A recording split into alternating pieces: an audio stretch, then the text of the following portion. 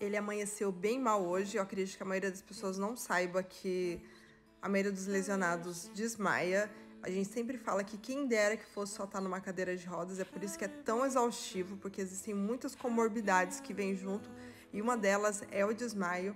Eu tô fazendo ali uma manobra para que ele volte, aí eu fico um tempão segurando a perna dele. Antigamente a gente colocava álcool para cheirar, dava alguma coisa com sal para comer, a gente descobriu que não funciona, que é só levantar uma perna ou as duas que vai voltando. Você pode ver a carinha dele, ele tá meio zonzo ainda. E eu vou deixando a perna levantada até estabilizar o sangue circular pelo corpo e voltando aos poucos. Agora ele já tá voltando. Ele tem uma mania de meio grog, falar que já tá bom, então eu espero a boca dele ficar bem vermelhinha. Aí eu sei que ele realmente voltou 100% ao normal.